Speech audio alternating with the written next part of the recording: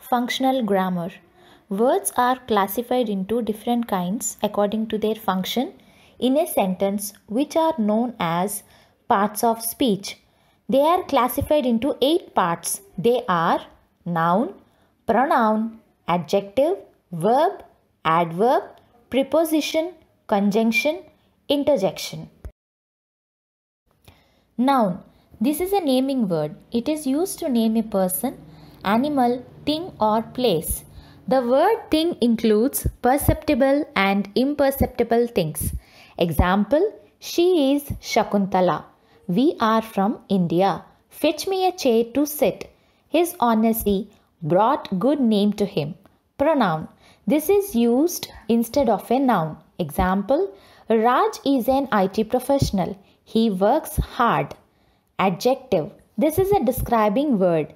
It describes a noun. Example Leela is a kind woman. The house in the farm is beautiful.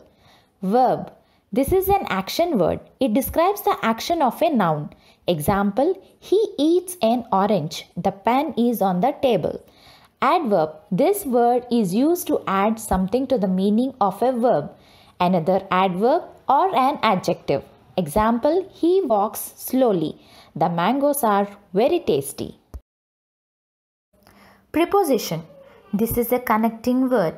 It connects nouns, pronouns, and phrases to other words in a sentence. Example The pencil is on the table. The cat is hiding under the bed. She is afraid of dogs. Conjunction.